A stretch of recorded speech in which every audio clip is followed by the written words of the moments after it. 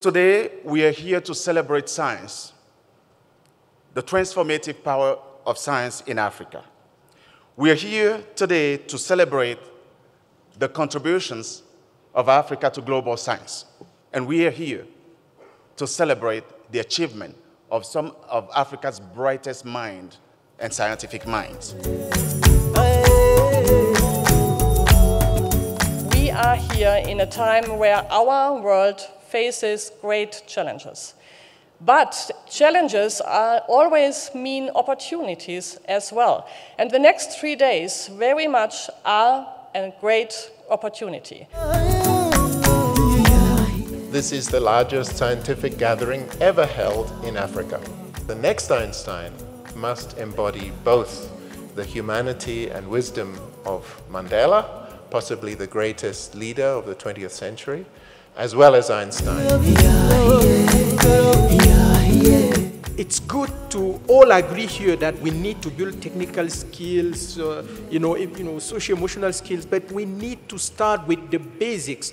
Our kids need to be learning when they are in class. The learning crisis needs to be addressed if we are to generate the next Einstein in Africa. We need our schools to be teaching. We need our kids to be learning.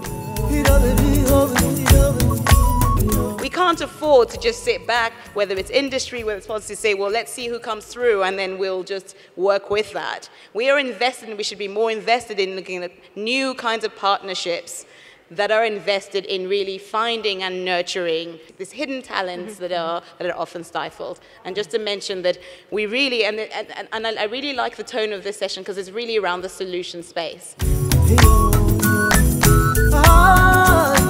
Until we have equal opportunities for education, equal opportunities for career advancement, equal opportunities for leadership positions, and equal pay, we will never bridge the gap. So those are important things.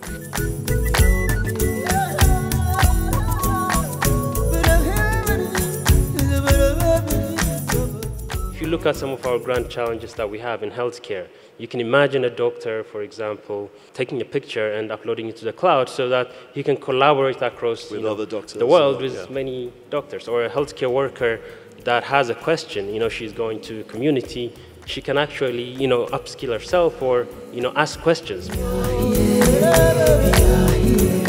Before I'm a scientist, I'm a humanitarian. So the field that I'm pursuing, which is nanotechnology, I'm using nanoparticles for uh, delivery of drugs, especially in cancers and Alzheimer's. And um, the, the results from my research were very promising on the pharmacological level in animals. And we actually tested these nanoparticles clinically in some of the dermatological diseases, in uh, basal cell carcinoma, in psoriasis, in skin fungal infections. And the results are just amazing.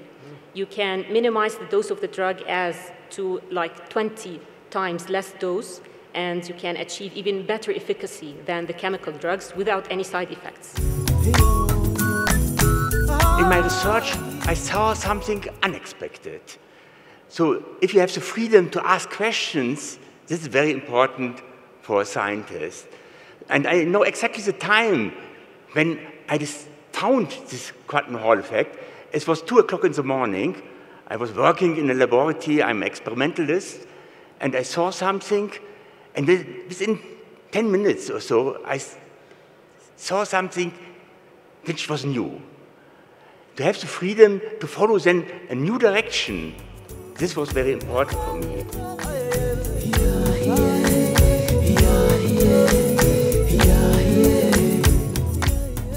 We need to build on the good initiatives underway to create more productive linkages between the African research and innovation community, both in universities and startup firms.